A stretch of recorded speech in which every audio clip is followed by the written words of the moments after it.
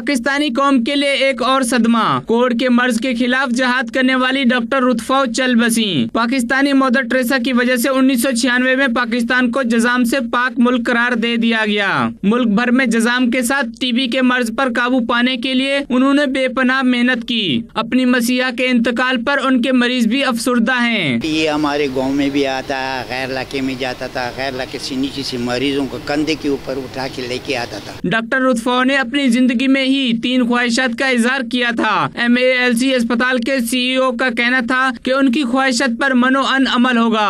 مجھے وینٹیلیٹر پہ نہ رکھیں آرٹیفیشل اس پہ۔ کہنا ہے کہ میں اس پہ نہیں رہنا چاہتی۔ ہوں ایک انہوں نے کہا تھا کہ مجھے جب آپ رخصت کریں گے تو مجھے لال جوڑے میں وہ کرنا رخصت کرنا۔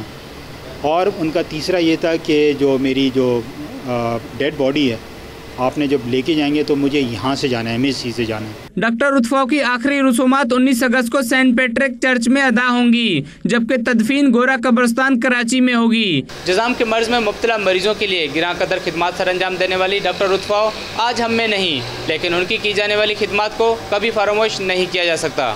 کیمرہ مین سید دانیال کے ساتھ ابراہیم رید نائنٹی ٹی نیوز کراچی۔